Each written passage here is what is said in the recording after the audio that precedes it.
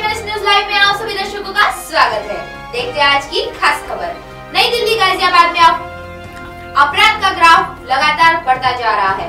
बताया जा रहा है कि एक नामी अस्पताल में स्टाफ और रिश्तेदारों के बीच जमकर हाथापाई हुई, जिसका वीडियो भी बनाया गया।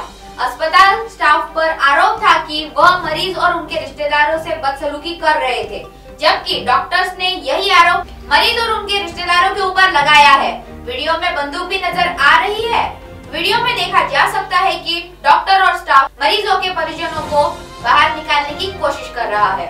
यह वीडियो सोशल मीडिया पर बड़ी तेज़ी से वायरल हो रहा है। तो M N S news live देखने के लिए आज ही प्ले स्टोर ऐसी M N Hindi app download करें और हमारी वीडियो की अपडेट्स पाने के लिए हमारे चैनल को सब्सक्राइब करें।